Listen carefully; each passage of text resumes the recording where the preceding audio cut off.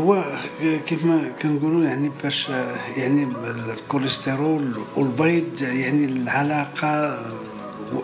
ثابته ما ثابتاش يعني كاين دراسات اللي كتمشي في الاتجاه على أنه فعلا كاين تقدر كاين احتمال ديال تكون البيض له تأثيرات على الناس اللي عندهم الكوليسترول وكاين واحد المجموعة من الدراسات أخرى من على رأسهم واحد الدراسات يابانية اللي مشات في الاتجاه ديال أنه البيض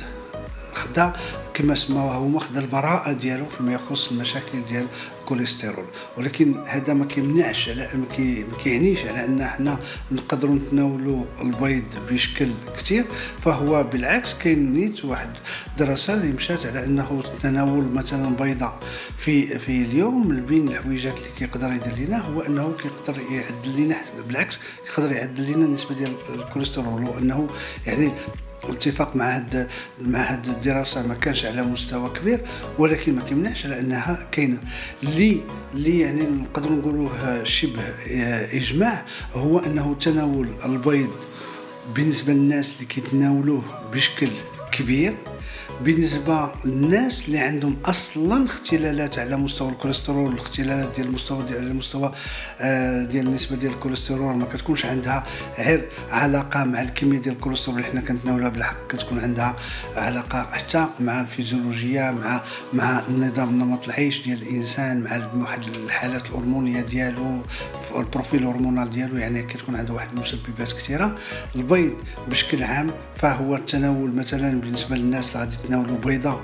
في اليوم ولا جوج بيضات في اليوم وبطبيعة الحال داخلة في واحد النظام غذائي يومي متوازن فما كتكونش عندهم واحد التأثيرات كبيرة. وكذلك اللي نبغيو نبغيو نشيرو نشيرو ليه كذلك هو أنه آه، ملي كنهضروا على على البيض فمن الأحسن بطبيعة الحال كنفضلوا أنواع ديال البيض على أخرى. منها مثلا كنفضلوا بطبيعة الحال بشكل كبير البيض البلدي للأسف هذه الأيام هذه يعني الاقتناء ديالو ما بقاش بديك السهولة. لا لا حتى المادية يعني مستوى